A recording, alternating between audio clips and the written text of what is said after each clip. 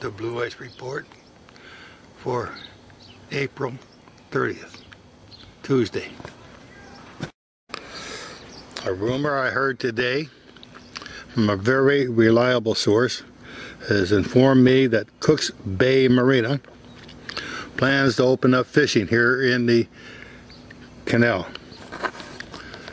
Right here at the end of Neely Road and Maple Grove. I don't know what conditions are as far as paying and parking and so on and so forth, but fishing will be allowed.